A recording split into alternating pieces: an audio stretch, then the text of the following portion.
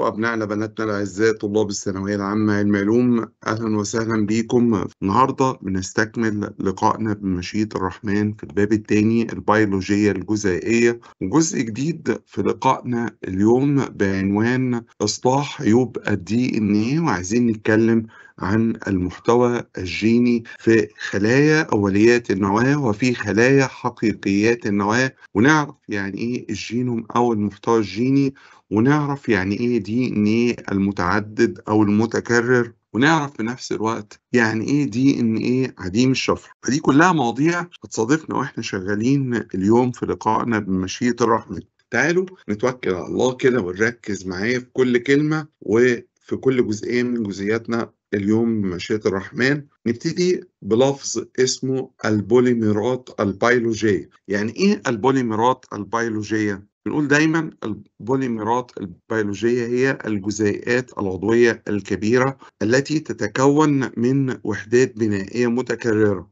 لو جينا شفنا عندنا مين هذه البوليمرات البيولوجية اللي بتتكون من وحدات بنائية متكررة؟ لو جينا شفنا مثلا على سبيل المثال النشا كنا نقول ده عديد جلوكوز. جلايكوجين ده عديد من الجلوكوز. لما بنقول البروتين ده عديد من الأحماض الأمينية. لما بنقول الأحماض النووية سواء كانت دي إن إيه أو آر إن إيه فهي عبارة عن عديد من النيوكليوتيدات. وإحنا بنتكلم مع بعض. لو جينا شفنا عندنا كل المركبات البيولوجية اللي بتوجد في الخلية على شكل بوليمرات معرضة للتلف معرضة للتغير معرضة إن يحصل فيها أي مشاكل. من هذه المركبات الأحماض النووية أو ال DNA زي ما نشوف النهاردة. ال DNA يمكن إحنا قلنا بيتكون قبل كده من شريطين بالشكل ده كده يعني واحد عكس الآخر القواعد ترتبط مع بعض بروابط هيدروجينية والنيوكليوتيدات ترتبط معا بروابط تساهمية. تعالوا نشوف كده مع بعض إيه أمثلة للمشاكل دي وإيه أسباب هذه المشاكل والعيوب. فلو قلنا إيه أسباب تلف الدي ان إيه أو أسباب تلف معظم المركبات البيولوجية الكبيرة أو معظم البوليمرات البيولوجية اللي بتخش في جسم الحيوان والنبات والإنسان والبكتيريا والكائنات الحية في العموم. فبنقول أول حاجة تغير البيئة المائية داخل الخلية وهنا في الغالب التغير في الغالب اللي بيظهر أثره أكتر بالنقصان بمعنى جفاف الخلية فقد الخلية محتواها المائي ده بيعمل مشكلة كبيرة جدا في الخلية. المركبات الكيميائية المختلفة اللي ممكن تخش الخلية تلخبط عملياتها الحيوية وتعمل مشاكل لما بتعمل تفاعلات غريبة في جسم الكائن الحي. الإشعاع ألفا جاما بيتا أشعة أشعة إكس أشعة فوق بنفسجية. كل ديت اشعاعات تسبب أضرار وهنحس بالأضرار ديت في لقائنا اليوم وفي لقائنا القادم بمشيئة الرحمن في الأسبوع القادم لو لينا عمر. الحرارة الحرارة على سبيل المثال ممكن تكسر الروابط التساهمية اللي بتربط السكر الأحادي مع القاعدة النيتروجينية. الرابطة اللي عندي التساهمية دي اللي بتربط السكر مع القاعدة ممكن تكسر الرابطة دي. ده بيعمل على تلف القاعدة النيتروجينية. فلو وجدنا على سبيل المثال تفقد الخلايا البشرية يوميا حوالي 5000 قاعدة بيورينية. القواعد الكبيرة الأدينين والجوانين بتتلف وتفقد اتصالها بال DNA اللي بتدخل في تكوين. طيب لو جينا شفنا عندنا هل التلف ده يستمر تخيلوا لو ال G دي فسدت لو ال A دي فسدت مين اللي هيجي مكانهم؟ دايما بنلاحظ حاجة هنا لو ال A دي فسدت مجبر مجبر إن لازم يجي A؟ مكانها. طب ليه؟ إيه اللي خلاني أقول لازم يجي A مكانها؟ القاعدة ثايمين اللي في الشريط المقابل ديت تعمل كقالب. يساعد على إصلاح هذا العيب. بص لو الجي دي فسدت لازم تيجي جي مكانها. اشمعنى؟ القاعدة سيتوزين اللي في الشريط المقابل دي. تساعد على إصلاح هذا العيب. عشان كده دايما بنقول هنا في حاجتين مهمين جدا بيساعدوا على إصلاح العيب اللي ممكن يحدث في ال DNA. إيه الحاجتين دول؟ أول حاجة وحاجة أساسية النيوكليوتيدة المقابلة في شريط DNA المقابل. الحاجة التانية 20 نوع من إنزيمات الربط. 20 نوع مختلف من إنزيمات الربط. عشان كده هنا بنقول الجملة المشهورة عندنا في الجزئية ديت يا جماعة تلعب إنزيمات الربط دورا هاما في إصلاح عيوب ال DNA. يا جماعة إنزيمات الربط تلعب دورا في في الثبات الوراثي للكائنات الحية. تساعد على ثبات الصفات الوراثية. تحافظ على ال DNA من التغير. طب إزاي؟ بنأكد مع بعض. إنزيمات الربط بتتعرف على المنطقة التالفة في ال DNA. طب وبعدين؟ تقوم إنزيمات الربط بإصلاح التلف ده بتشيل النيوكليتيدة اللي فسدت ديت وتتزاوج مع نيوكليتيدة جديدة في الشريط المقابل اللي هنا. بكده طبعا يتم إصلاح هذا العيب. وطبعا عشان تشتغل إنزيمات الربط وتصلح العيب اللي حصل ده لابد من وجود نسختين من المعلومات الوراثية. فقلنا لازم إيه اللي يحصل لازم يبقى هنا في A يبقى هنا في T لازم هنا في جي يبقى هنا في سي فإحنا بنعتمد تماما على اللولب المزدوج هنا في إصلاح هذا العيب. لازم وجود الشريطين دول دون تلف بتقدر إنزيمات الربط تستخدم الشريط المقابل زي ما قلنا كقالب في اصلاح هذا العيب. لو جينا شفنا عندنا يبقى كده لو الاي دي فسدت لو الجي دي فسدت مين اللي هيجي مكانهم؟ هنا لازم تيجي إيه وهنا لازم تيجي تي اللي ساعد على كده حاجتين. 20 نوع من إنزيمات الربط ونسخة النيوكليتيدة اللي موجودة في الشريط المقابل ديت تساعد على إصلاح هذا التلف أو إصلاح هذا العيب. طيب نرجع كده مع بعض تاني نأكد مع بعض على الجزئية اللي جاية دي كويس. بنقول هنا أي تلف في جزيء دي إن يمكن أن يحدث تغييرا في المعلومات الوراثية الموجودة عليه ده ممكن ينتج عنه تغيرات خطيرة في بروتينات الخلية ممكن ينتج عنه صفات جديدة على طول وعشان كده دايما بنقول إيه بقى تعالوا نأكد بقى كده مع بعض لسه بنقول 5000 قاعدة بيورانية بتفسد في اليوم نتيجة ارتفاع درجة الحرارة لكن الحمد لله كل ده بيتم إصلاحه واللي بيستمر في العام كله من 2 ل 3 تغيرات فقط. هم دول اللي ليهم صفة الدوام هم دول اللي ليهم صفة الاستمرارية يعني. سؤالنا دلوقتي بقى متى فساد A لا يمكن إصلاحه؟ متى فساد G لا يمكن إصلاحه؟ بنأكد مع بعض؟ ال A وال G دول لو فسدوا لا يمكن اصلاحهم لو ال T اللي امام ال A دي فسدت في نفس الوقت في نفس الموقع. لو ال C اللي هنا ديت فسدت في نفس الوقت في نفس الموقع يبقى فساد اتنين نيوكليتيدة متقابلة في نفس الوقت وفي نفس الموقع ده بيعمل على إصلاح هذا العيب على طول. بس الإصلاح هنا بيكون بنسبة قليلة بمعنى إيه؟ تعالوا نشوف الاحتمالات مع بعض ونحسب النسبة مع بعض. بالله عليكم بصوا كده لو ال A دي فسدت وال T دي فسدت في نفس الوقت مين اللي هيجي هنا؟ احتمال يجي هنا A؟ وهنا T رجعنا لوضعنا الأصلي أهو. هنا T هنا A؟ عارفين لو جه هنا T هنا A؟ اتغير ال DNA يبقى كده ده تغير يبقى كده احتمال رجوع زي ما كنا احتمال تغير. ممكن تيجي هنا C هنا G احتمال تاني تغير أهو. احتمال رابع بقى إيه؟ هنا G هنا C فتبص تلاقي أنت عندك أربع احتمالات. رجعنا زي ما كنا ده احتمال. بدلت ال T مكان ال A؟ ده تغير. جبت الجي وجبت السي هنا جي هنا سي ده تغير. جبت هنا C هنا G ده تغير تاني. يبقى كده أربع احتمالات. واحد رجعنا زي ما كنا ثلاثة اتغيرنا. يبقى كده واحد يعني 25% إصلاح العيب تغير. يبقى 75% تغير العيب دوت واستمرار العيب ده. عشان كده بنقول خلي بالكم متى؟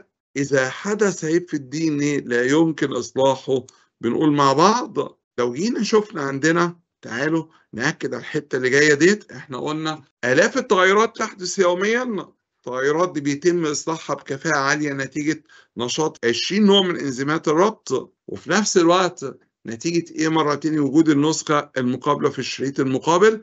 لكن لو فسد الاثنين نيوكليتيدة المتقابلة في نفس الوقت في نفس الموقع هنا يصعب إصلاح العيب ده. لاحظوا معايا؟ ال DNA لولب مزدوج عشان كده كنا لسه بنتكلم من شوية وقلنا ال DNA لولب مزدوج أساس للثبات الوراثي. لكن لو أنا عندي مادة وراثية فيها شريط مفرد زي ال RNA مثلا الفيروسات اللي محتواها الجيني RNA زي فيروس الايدز فيروس الانفلونزا فيروس شلل الأطفال الفيروسات اللي بتصيب النباتات عندها محتوى جيني شريط مفرد من ال RNA. تخيلوا لو ال A دي فسدت مين اللي هيجي مكانها؟ يجي مكانها إيه كمان؟ أو جي أو سي أو يو إيه ده؟ إيه اليو دي؟ يوراسيل أصل ال RNA بنقول معلومة عنه هتفيدنا المرة الجاية. ال RNA يخلو من الثايمين ولكن يحتوي محل الثايمين على يوراسيل فهنا بنأكد مع بعض لو كان عندنا شريط واحد من الحمض النووي زي ال RNA ده إيه اللي يحصل بعض الفيروسات بيحصل تلف ده بيؤدي لتغيرات مستديمة للفرد. بمعنى تحدث طفرات عند الفرد بمعنى لو ال A دي فسدت هيجي مكانها A ده إصلاح العيب. جي أو سي أو يو ده تغير يبقى كده إصلاح بنسبة 25% وتغير وتعديل بنسبة 75% ده يفسر لي حاجة مهمة جدا. تتميز الفيروسات اللي محتواها الجيني RNA شريط مفرد بمعدل مرتفع من التغير الوراثي. ده يخليني أقدر أعرف ليه فيروس كورونا كل شوية بيتحور ليه فيروس كورونا كل شوية بيتغير. ويطلع لنا سلالة جديدة بأعراض جديدة ما كانتش موجودة قبل كده. ليه مرة تاني؟ محتواه الجيني ار ان اي والار ان اي شريط مفرط. لو حصل أي تغير في القواعد النيتروجينية اللي فيه نسبة إصلاح التغير ده ورجوعها زي ما كانت لا تتعدى كام مرة تاني؟ 25% ونسبة تغيرها وتكوين RNA جديد يسبب تكوين بروتينات جديدة. هنا بتبقى بنسبة 75% زي ما إحنا بنقول كده مع بعض. كده عرفنا متى يصلح ال DNA من عيوبه متى لا يصلح ال DNA من عيوبه. بأكد معاكم مرة تاني يصلح ال DNA من عيوبه. لو حصل تغير في نيوكليتيده واحدة النيوكليتيده المقابلة لسه موجودة سليمة زي الفل. في عندنا 20 نوع من إنزيمات الربط يقدروا بمساعدة النيوكليتيده المقابلة يصلحوا العيب دوت ويعيدوا DNA إلى وضعه الأول مرة أخرى. لو جينا شفنا عندنا طيب متى لا يصلح ال DNA من عيوبه؟ لو حدث مشكلة في نفس الموقع في نفس الوقت في اثنين نيوكليتيده متقابلة يصعب إصلاح هذا العيب ما بننساش كون إن ال DNA لولب مزدوج دي نعمة كبيرة جدا لأنه ده بيحافظ على ثبات الصفات الوراثية وندرة حدوث أي تعديل أو تغير وراثي به لكن خلي بالكم الكائنات اللي عندها مادة وراثية شريط مفرد زي الفيروسات اللي محتواها الجيني RNA بنجد إن عندها معدل مرتفع من التغير الوراثي. طب ليه معدل مرتفع من التغير الوراثي؟ لو حصل عيب هنا في أي نيوكليتيده نسبة اصلاحها لا يتجاوز 25% وفي الغالب تركيبها هيتغير زي ما قلنا. نرجع تاني للبكتيريا. وبكتيريا جديدة غير بكتيريا الالتهاب الرئوي R أو بكتيريا الالتهاب الرئوي S عندنا نوع تاني من البكتيريا بنطلق عليها بكتيريا Escherichia coli أو E. coli. دي نوع من البكتيريا المفيدة بتعيش داخل أمعائنا الغليظة بتقدر إن هي تتغذى على بقايا بعض الطعام اللي موجودة داخل أمعائنا الغليظة وفي المقابل تكون بعض الفيتامينات اللي ممكن يعتمد عليها الجسم في حياته. تعالوا نشوف كده مع بعض ونركز كده معايا كويس. أوليات النواة هي كائنات حية لا تحاط المادة الوراثية فيها بغشاء نووي. بص نلاقيها بتوجد مادتها الوراثية حرة في سيتوبلازم الخلية من أشهر أوليات النواة البكتيريا. لو لاحظنا البكتيريا شايفين كده ال DNA بتاعها ملفوف داخل السيتوبلازم مفيش غشاء نووي لاحظوا معايا؟ لما باجي بتكلم عن DNA بكتيريا E. coli أو Escherichia coli كسبيل المثال لأوليات النواه بنجد إن ال DNA هنا لولب مزدوج لاحظوا ملوش نقطة بداية ولا نهاية. بمعنى الطرفين بتوعه مش منفصلين عن بعض ولكن هنا ملتحمين مع بعض. ما تقدرش تحدد هنا نقطة بداية أو نهاية ليه عشان كده بنقول ربنا يكرمكم. لو جالي في سؤال قال لي DNA بكتيري. قال لي حاجة اسمها بلازميد. ده DNA برضه بكتيريا أهو. افتكروا معايا؟ ملوش نقطة بداية ولا نهاية. عشان كده إيه اللي بيحصل؟ بنجد إن هذا ال DNA البكتيري ماله لا توجد به مجموعات فوسفات حرة. فجميع مجموعات الفوسفات به هي مجموعات مرتبطة بجزيء سكر بذرة الكربون 3 من فوق. في سكر النيوكليتيد اللي تعلوها ومن أسفل بذرة الكربون رقم خمسة في نفس النيوكليتيدة بتاعت مجموعة الفوسفات دي. نرجع كده مع بعض تاني. لاحظوا معايا ال DNA لو اتفرد هنا يصل طوله قد إيه؟ واحد وأربعة من عشرة مليمتر. بينما طول الخلية البكتيرية نفسها طبعا لا يتعدى 2 مايكرون وهنا لما بقول 1.4 من 10 ملم بنفتكر دي بتعادل 1400 مايكرون تخيلوا 1400 مايكرون موجودة جوه 2 مايكرون هتتحل إزاي ديت؟ تتحل بالطريقة اللي إحنا شايفينها دي. ال DNA بيلتف حول نفسه العديد من المرات ليشغل عشر حجم الخلية ليشغل واحد من عشرة من حجم الخلية ليشغل عشرة في المية من حجم الخلية بالشكل ده كده أهو. فيلتف ال DNA حول نفسه عدد كبير من المرات ليحتل طبعا منطقة مساحتها لا يتجاوز واحد من عشرة من حجم الخلية اللي عندنا. هنلاحظ حاجة برضه في ال DNA هنا بيلتحم بغشاء الخلية يلتصق بغشاء الخلية عند موقع أو أكتر ومن نقطة الاتصال ديت يبدأ تضاعف ال DNA. يبقى إنزيمات اللولب لما بتعمل على تضاعف ال DNA هتبتدي تعمل عليه من أنهي نقطة؟ من نقطة الاتصال اللي هي بيتصل بيها في مرة تاني مع غشاء الخلية من النقطة دي أو النقطة ديت بالشكل ده كده. نرجع كده مع بعض. ما بننساش ممكن ال DNA هنا يوجد في صورة حاجة اسمها بلازميدات. مين البلازميدات ديت؟ DNA؟ حلقي الشكل صغير الشكل غير معقد التركيب بالبروتين. يمكن البلازميدات توجد أيضا في فطر الخميرة وهو من حقيقيات النواه يعني إيه حقيقيات النواه دي بقى عندها غشاء نووي تحيط بمادتها الوراثيه وعندها DNA موجود في صورة كروموسومات زي ما هنتكلم بعد شوية. ما أهمية البلازميدات ديت؟ إحنا قدرنا نستغل البلازميدات جامد جدا في مجال الهندسة الوراثية. بمعنى إيه؟ أنا النهارده لما أجي للبلازميد دوت وألزق عليه قطعة من DNA كائن حي. قطعة ال DNA ديت مسؤولة عن أداء وظيفة معينة زي مثلا مسؤولة عن إنتاج هرمون زي هرمون الأنسولين مثلا. خلاص يبقى أنا كده دخلت جين إنتاج الأنسولين للخلايا البكتيرية.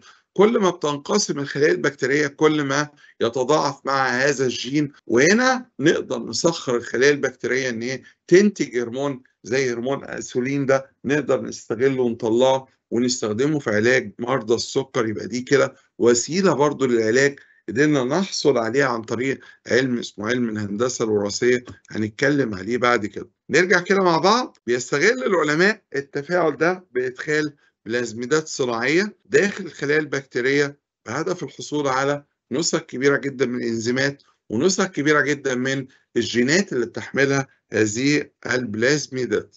ليا ملحوظة؟ كانت واضحة معانا في تانية ثانوي قبل كده. بعد اذنكم يا جماعة خدنا قبل كده افتكروا معايا الميتوكوندريا. وإحنا بنشوف الميتوكوندريا قدامنا اهيت كان فيها DNA؟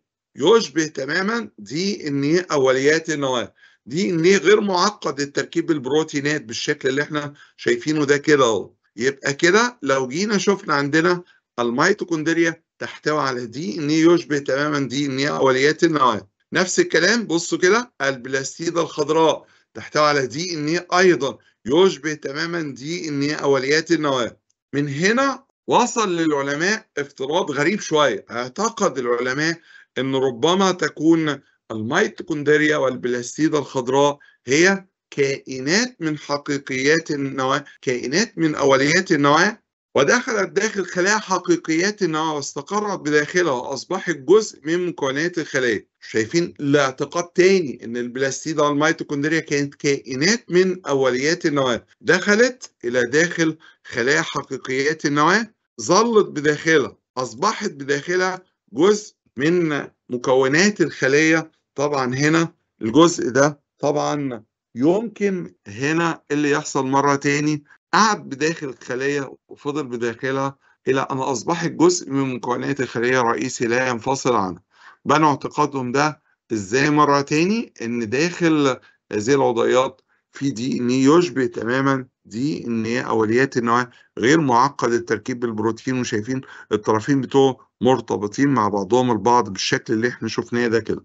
كنا لسه بنتكلم من شوية عن فطر الخميرة اللي كان بيتكاثر بالتبرم وخدناه قبل كده. كنا بنقول يا جماعة ده لما بيتكاثر شايفين الخلية بتديني كده خلية كبيرة أمية وخلية صغيرة ويبقى جنب النواه بيبقى فيه بلازميد بالشكل ده كده.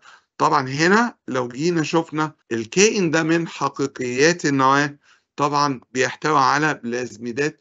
فهنا برضو ده بيعتبر حلقة وصل بين أوليات النواة وحقيقيات النواة ليه؟ بيشبه أوليات النواة إن عنده بلازميدات ويشبه حقيقيات النواة إن عنده نواة حقيقية بداخلها كروموسومات زي ما شفنا كده مع بعض. آدي النواه اللي فيها كروموسومات وآدي البلازميد يبقى كده لاحظ معايا يتضاعف ال DNA هنا في السيتوبلازم. هنا يحدث تضاعف ال DNA داخل نواه الخلية زي ما بنشوف كده مع بعض. طيب نسيب أوليات النواه بقى ونركز معايا كويس جدا على حقيقيات النواه حقيقيات النواه كائنات تحاط فيها المادة الوراثية بغشاء نووي وينتظم فيها ال DNA في صورة صبغيات. يعني إيه صبغيات؟ هي هي كروموسومات. تحتوي كل خلية جسدية في جسم الإنسان على كام كروموسوم بقى؟ 46 كروموسوم مختلف. لو جبنا الكروموسومات ديت هنلاحظ حاجة. ال DNA إزاي هيقدر يقصر من طوله داخل الصبغيات عشان تستوعبها؟ طبعا نواة الخلية عايزين نشوف كيفية تكثيف DNA كيف يقصر ال DNA من طوله داخل الكروموسوم لتستوعبه الخلية أو نواة الخلية. تعالوا نأكد مع بعض الخلية الجسدية في الإنسان تحتوي على 46 كروموسوم أو 46 جزيء DNA بمعنى إن كل كروموسوم بيوجد جزيء DNA إذا أمكن فك اللولب المزدوج لجزيء DNA كل صبغي ووضعت على امتداد بعضها البعض. تجيب ال DNA ده توصله مع بعضه. هيبقى هنا طول ال DNA ده 2 متر في الخلية الواحدة. عشان كده لازم يتكثف ال DNA. لازم يتضم ال DNA ده بجزيئات من البروتينات. البروتينات ديت هنلاقيها بروتينات هيستونية وأخرى غير هيستونية. طب ده ليه؟ عشان ال DNA ده يوجد داخل نواه قطرها من 2 ل 3 مايكرون فقط. يعني معنى كده عايزين يا جماعة تحط 2 مليون مايكرون داخل 2 مايكرون. يعني كده لازم ال DNA؟ يقصر من طوله يقلل من طوله تقريبا مليون مرة عشان يوجد داخل نواة الخلية طبعا قمة الإعجاز ل DNA؟ في خلايا حقيقيات النواة طيب تعالوا نشوف بقى كده مع بعض كيف يقصر ال DNA؟ من طوله. التحليل البيوكيميائي صور الميكروسكوب الإلكتروني وضحت إن ال DNA ده بيعمل إيه؟ كنا قايلين يا جماعة ال DNA في كل نيوكليتيده فيه مجموعة فوسفات بتحتوي على شحنات سالبة. معروف إن مجموعة الفوسفات فيها ثلاث شحنات سالبة.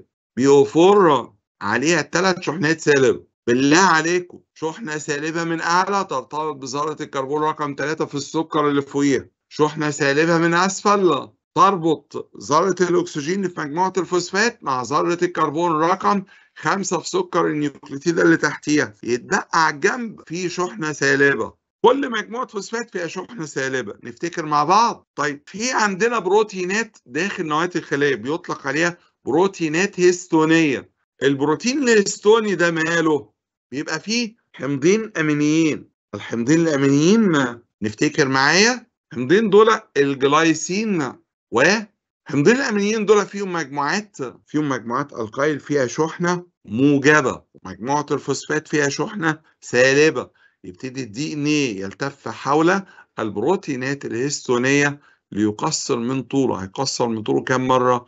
10 مرات. خلاص تعالوا نشوف يبقى بيلتف جزيء DNA حول مجموعات من البروتينات الهستونيه مكونة حلقات تسمى نيوكليوسومات بكده يقصر ال DNA من طوله 10 مرات. طب ده إحنا هنا ال DNA التف حول البروتين الهستوني وكون نيوكليوسوم عشان يقدر إنه يقصر من طوله تاني عايز يقصر من طوله كمان مئة ألف مرة عشان تستوعبه نواة الخلية يعمل إيه. تبتدي تلتف حلقات النيوكليوسومات دي حوالين بعضها عشان تقصر من طوله أكتر وتكون أشرطة النيوكليوسومات الملتفة ديت حلقة كبيرة بواسطة بروتينات تركيبية غير هستونية تبدأ في تكوين حاجة اسمها الكروماتين المفرد ثم الكروماتين المكدس أو المكثف اللي هيكون جسم الكروموسوم. نقول تاني بص كده ال DNA التف حول الهيستونات مكونة نيوكليوسومات بالشكل ده كده. تتعقد هذه النيوكليوسومات لتكون كروماتين مفرد كروماتين المفرد ده يتكدس أكتر مكونا كروماتين مكدس اللي هيكون جسم الكروماتيدة بتاعة الكروموسوم. فالنيوكليوسومات حلقات من الصبغي حلقات موجودة داخل الكروموسوم بيلتف فيها ال DNA حول مجموعة من البروتينات الهستونيه ليقصر من طوله كام مرة؟ قلنا 10 مرات. طيب بالله عليكم نأكد مع بعض. الكروماتين المكدس أو الكروماتين المكثف ده بيتكون منين؟ تلتف فيه أشرطة النيوكلوسومات حول بروتينات غير هستونية تركيبية بتكون حلقة كبيرة من الكروماتين المكدس بشدة فيقدر ال DNA يقصر من طوله كمان مئة ألف مرة كمان عشان تستوعبه طبعا نواة الخلية. هنا هنلاحظ حاجة بقى. طيب لو ال DNA ده حب إن هو يتضاعف لو ال DNA ده حب إن هو يحصل له عملية نسخ يتضاعف يعني يكون منه DNA آخر. عشان يحصل له عملية نسخ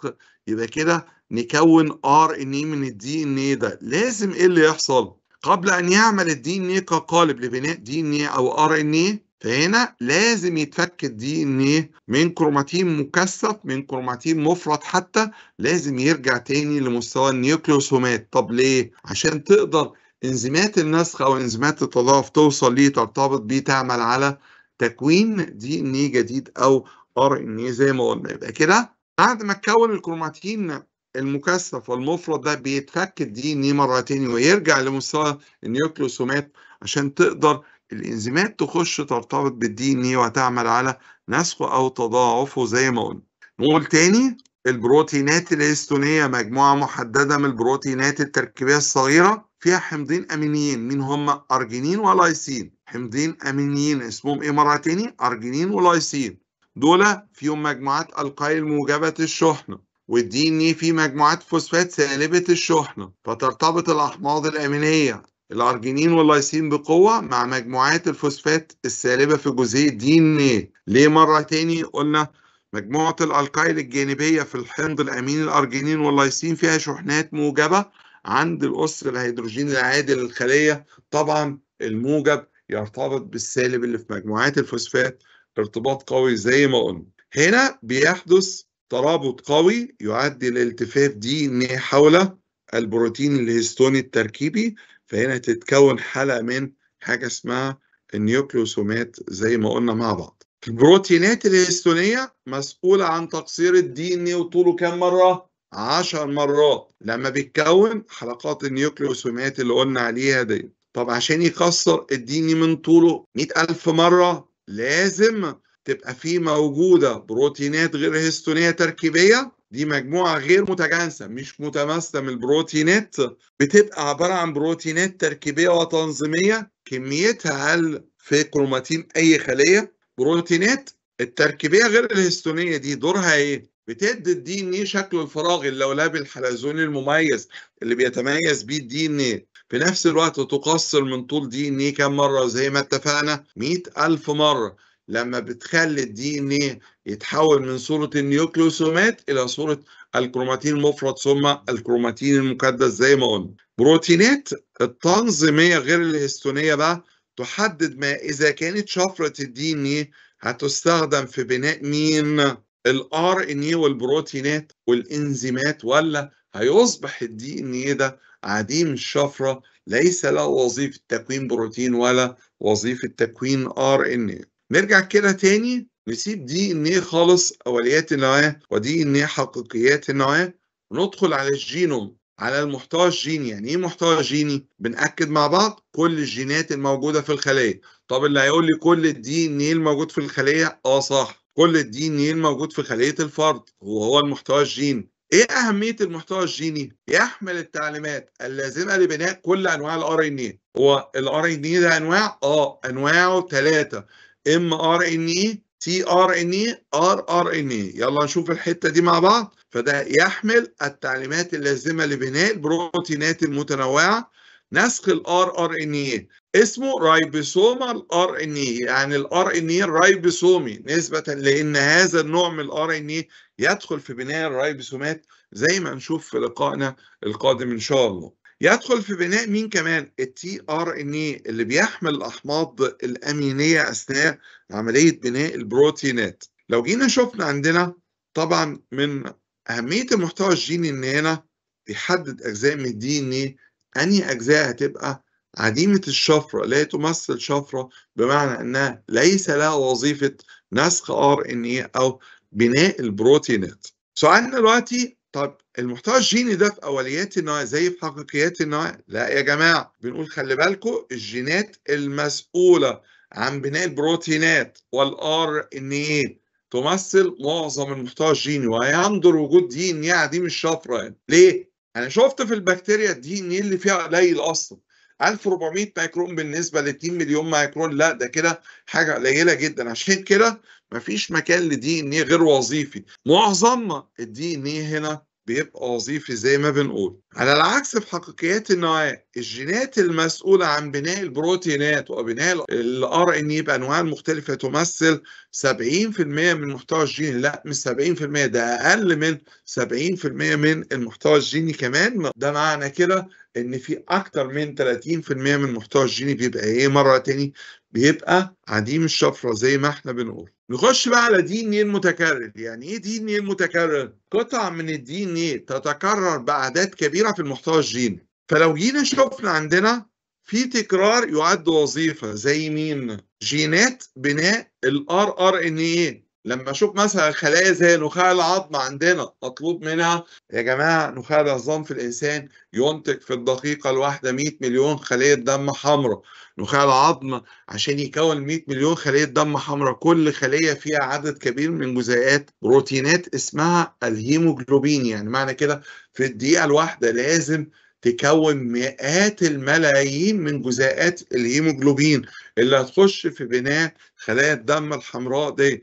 يعني معنى كده لازم يبقى في كم هائل جدا من الرايبوسومات اللي هتنتج هذه البروتينات. فهنا لازم الجينات اللي هتكون الرايبوسومات دي تبقى عددها كبير. فتبص تلاقي نبص نلاقي عندنا في خلية الإنسان الجينات المسؤولة عن بناء ال rRNA الرايبوسومي ده تمثل بأكتر من 600 نسخة ليه؟ عشان تكون ال rRNA كتير عشان تكون رايبوسومات كتيرة فتقدر تبني بروتينات كتيرة. الخلايا اللي هي محتاجة إن هي تنقسم كل شوية فهنا هتكون DNA كل شوية عشان يقصر من طوله كل شوية لازم يلتف حول بروتينات هيستونية كل شوية عشان كده لازم كمان الجينات المسؤولة عن بناء البروتينات الهيستونية دي تبقى برضه بأعداد كبيرة ده يخلي الخلية تقدر تكون الهيستونات ديت بكثرة في خلايا حقيقيات النواة. في تكرارات تانية بقى في الدي ان إيه لا تؤدي وظيفة. فوجد العلماء في منتصف أحد الكروموسومات في حشرة اسمها حشرة الدروسوفيلا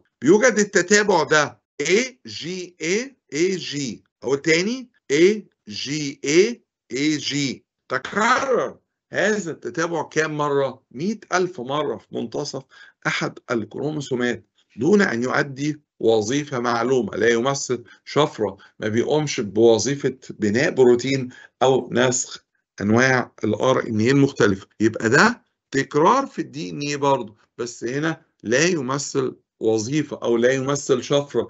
ليس له وظيفة بناء مين مرة تاني؟ RNA أو بروتين زي ما قلنا. نسأل بقى سؤال هنا على السريع. نفتكر ال DNA عديم الشفرة ده موجود فين بالظبط؟ فبنقول بعض الحبيبات الطرفية في بعض الكروموسومات. بعض الحبيبات الطرفية اللي موجودة في بعض الكروموسومات بتمثل DNA عديم الشفرة. بنأكد معاكم بعض DNA المتكرر. زي ما قلنا التتابع اللي إحنا قلناه من شوية. خلاص؟ اللي هو اي جي اي جي اي بص تلاقي التتابع ده تكرر زي ما قلنا 100 ألف مرة فهذا التتابع تكراره لا يعد له وظيفة. زي ما إحنا بنقول التتابع مين مرة تاني؟ A G A A G. A G A A G زي ما اتكلمنا. نأكد مع بعض؟ شايفين الكائن اللي قدامنا ده؟ كائن غريب عجيب. الحيوان ده اسمه حيوان السلمندر ده أحد البرمائيات. دورة حياته زي دورة حياة الضفدع بالظبط. هذا الحيوان معظم المحتوى الجيني به عديم الشفرة. بمعنى تعالوا نشوف كده مع بعض. هذا الكائن لينا معاه وقفة مهمة جدا جدا جدا. هل كمية الدي ان إيه في المحتوى الجيني لها علاقة بمدى تعقيد أو رقي الكائن الحي أو تطوره؟ هل كمية المحتوى الجيني اللي موجودة داخل الخلية لها علاقة بمدى تعقيد أو رقي الكائن الحي اللي موجود عندنا؟ بنقول يا جماعة لا. كمية الدي ان إيه في المحتوى الجيني ملهاش علاقة بمقدار تعقد أو رقي الكائنات الحية أو عدد البروتينات اللي بيكونها. الله طب عرفنا الكلام ده منين؟ إحنا كنا لسه بنقول خلية الإنسان يا جماعة عندها 2 مليون مايكرون DNA خلية البكتيريا عندها مين؟ قلنا 1400 مايكرون من ال DNA يعني معنى كده ال DNA في الإنسان أكتر من البكتيريا. مين اللي أكثر تعقيدا ورقيا؟ الإنسان أكثر تعقيدا ورقيا عن البكتيريا. خد بقى في المقابل بقى خلية حيوان السلمندر عندها DNA قدر DNA الانسان 30 ضعف ملاحظين أنا بقول إيه لو عندنا إحنا 2 متر دي إن إيه عند خلية السلمندر اضرب 30 في 2 ب 60 متر وبالرغم من ذلك مين اللي أكثر تعقيدا ورقيا؟ الإنسان أم السلمندر؟ بنقول الإنسان أكثر تعقيدا ورقيا. طب ده معناه إيه؟ إن معظم المحتوى الجيني اللي عند السلمندر ده كان ماله؟ قديم الشفرة وكمية قليلة من الدي إن إيه عنده هي الوظيفية هي المسؤولة عن بناء البروتينات وبناء مين مرة تاني؟ ال RNA بأنواع المختلفه فإحنا بنقول كمية صغيرة من ال DNA في النبات والحيوان هي اللي بتحمل شفرة بناء البروتينات زي ما قلنا بنأكد على الكلام ده السلمندر المحتوى الجيني بيعادل 30 مرة قدر المحتوى الجيني للإنسان ومع ذلك بينتج بروتين أقل من الإنسان ده ليه؟ لوجود كمية من ال DNA به بس بلا شفرة كمية كبيرة جدا معظم ال DNA فيه بلا شفرة. هنا بقى رجاء ما ننساش اللي أقول لكم عليه ده كويس. لو قارنا بين كمية ال DNA في خلايا الإنسان وخلايا السلمندر بأنواعها المختلفه لو أنا جبت حيوان منوي في الإنسان قلت كمية ال DNA اللي في حيوان في الإنسان لخلية جسدية في السلمندر لخلية كبد أو جلد أو أي حاجة في السلمندر نسبة ما بين كمية ال DNA هنا لهنا كام؟ افتكر هنقول حيوان منوي ده فيه نون. خلي بالك أنت لما كنت بتقارن خلية جسدية بخلية جسدية بتقول 1 ل 30 لكن لما تيجي تقول حيوان منوي يبقى فيه نص المعلومات الوراثية اللي في الخلية الجسدية يبقى نص 2 نون يعني نون.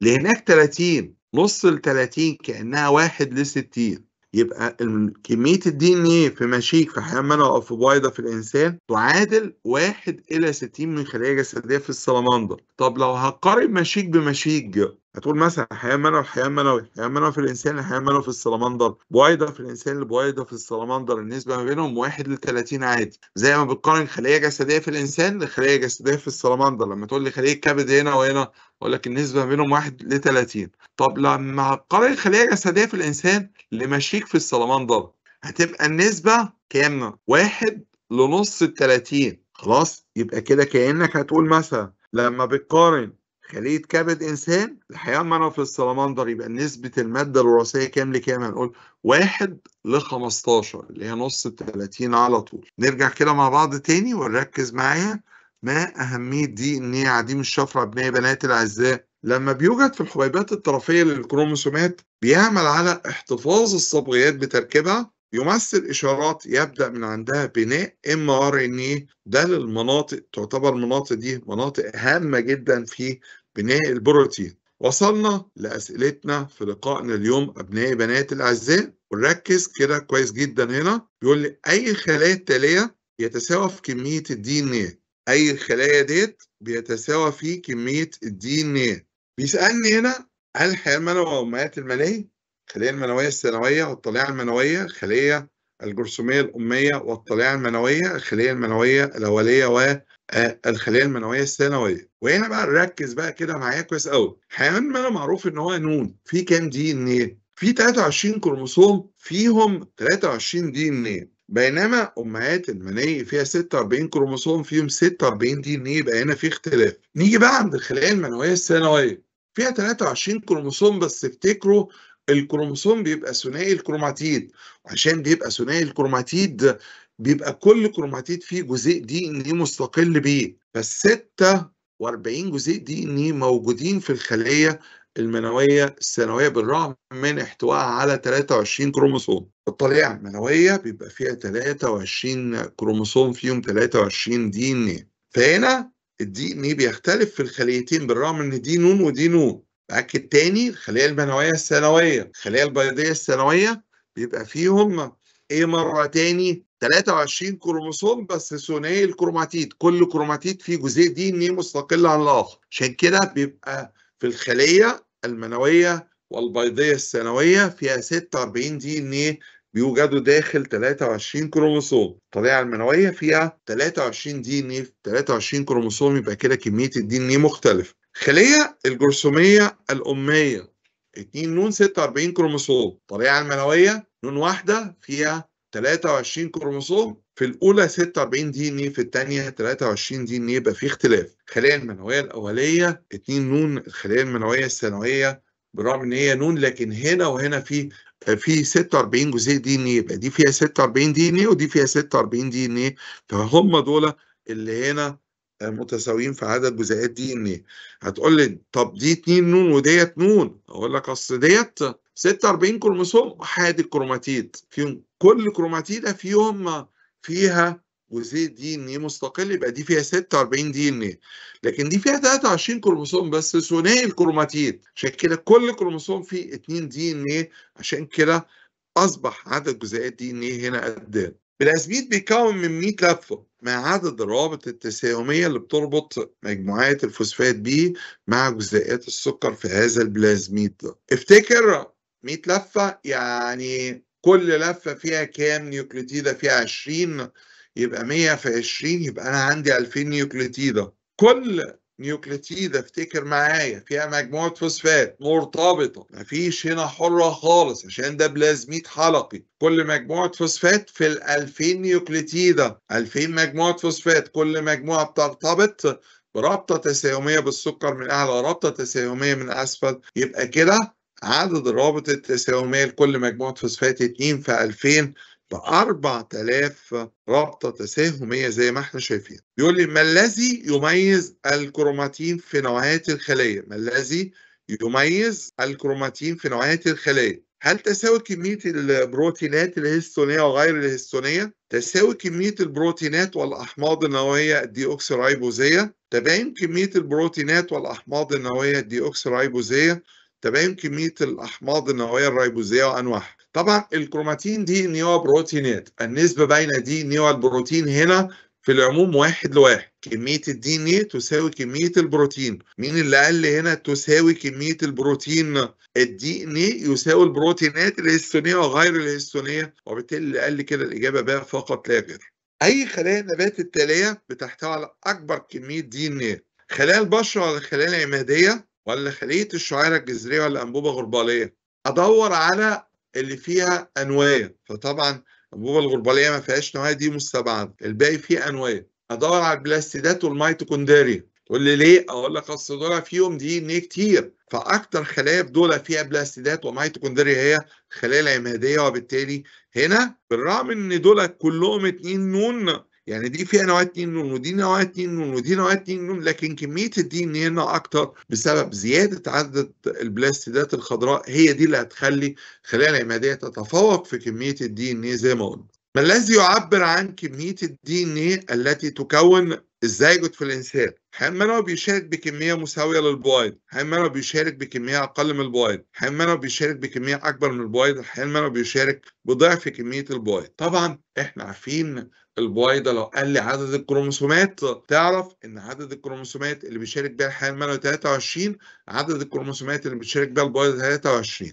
لكن عند ال DNA ما تنساش حاجة الحيوان المنوي لا يشارك إلا بالنواه فقط اللي فيها 23 DNA لكن البويضة بتشارك بالنواه بتاعتها والميتوكوندريا اللي فيها ميتوكوندريا بتزود ال DNA بتاع البويضة عن الحيوان المنوي الميتوكوندريا فيها DNA كتير وبالتالي اللي بيحصل بتجعل كمية ال DNA اللي في البويضه أكتر من كمية ال DNA اللي بيشارك بيها الحيوان المنوي. عشان كده الحيوان المنوي هنا يبقى بيشارك بكمية أقل من البويضه زي ما شفت ما الذي يعبر عن المادة الوراثية في فيروس إنفلونزا؟ طبعا فيروس إنفلونزا محتواه الجيني RNA عشان كده أرفض خالص ال DNA اللي عندي. طب ال RNA ده بيبقى إيه؟ وضعه قلنا عندها معدل مرتفع من التغير الوراثي عشان كده بنقول ده RNA شريط مفرد اللي قال لي كده إجابة د فقط لا غير. عشان كده بنقول ده RNA شريط مفرد غير معقد التركيب بالبروتينات. ما الذي يعبر عن المحتوى الجيني لفطر الخميرة؟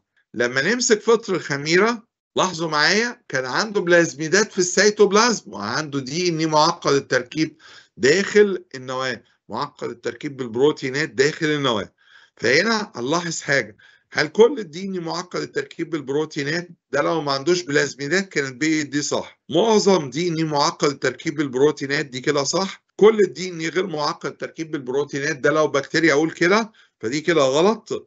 معظم ال DNA غير معقد لا غلط يبقى الإجابة معظم ال DNA بتاعه معقد التركيب بالبروتينات لأن الاساسي بتاعه ال DNA اللي داخل النواة مش اللي في صورة بلازميدات. أي كائنات بتعطي نتائج تختلف عما توصلت إليه فرانكلين عند استخدام تقنية حيود أشعة إكس خلال مادتها الوراثيه فيروس لاقمات البكتيريا فيروس التهاب رئوي سلالة R بكتيريا التهاب رئوي سلالة S فيروس شلل الأطفال. يبقى أنا عندي كده اتنين فيروس واتنين بكتيريا. طبعا لما بص تجارب فرانكلين فحصت جزيئات DNA عاليه النقاوة. طبعا أنا شايف لاقمات البكتيريا وبكتيريا التهاب رئوي S و R دول كلهم عندهم DNA؟ لكن فيروس الانفلونزا شلل الأطفال الإيدز عندهم مادة وراثية RNA يبقى هو ده المختلف عندي.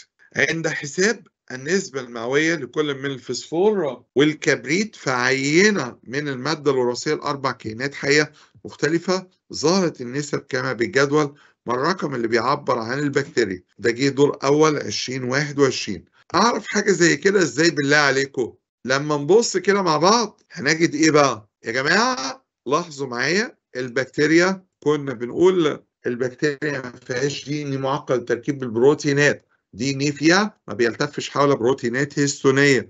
الله طب يعني معنى كده؟ هنا ما فيهاش كبريت مشع ليه؟ ما فيش بروتين يلتف حوله ال DNA وبالتالي المادة الوراثية هتبقى كلها DNA فقط. ما فيش فوسفور مشع في فوسفور مشع كامل ومفيش كبريت مشع خالص. طبعا مين الكائن اللي ما فيهوش كبريت مشع دليل على إن ما فيهوش بروتين خالص. هو الكائن 3 يبقى البكتيريا هي الكائن 3 ديت. أبنائنا بناتنا الأعزاء وصلنا لنهاية لقائنا اليوم. ربنا يوفقكم في لقائنا اليوم. اتكلمنا عن مواضيع كتيرة اتكلمنا عن إصلاح عيوب ال DNA والفرق بين DNA أوليات النواة وحقيقيات النواة. شفنا يعني إيه محتوى جيني شفنا يعني إيه DNA متكرر. شفنا يعني إيه؟ DNA عديم الشفرة في لقائنا القادم إن شاء الله ننتهي من الفصل الأول ونتكلم عن الطفرات ونبدأ بمشيئة الرحمن الفصل الأخير في المنهج. نبتدي بقى نتكلم عن البروتينات ودور الار ان إيه في تخليقها. ربنا يوفقكم جميعا ونراكم دائما على كل خير. كان معكم أستاذ محمد الورداني خبير مادة الأحياء والجيولوجيا في وزارة التربية والتعليم. والسلام عليكم ورحمة الله وبركاته.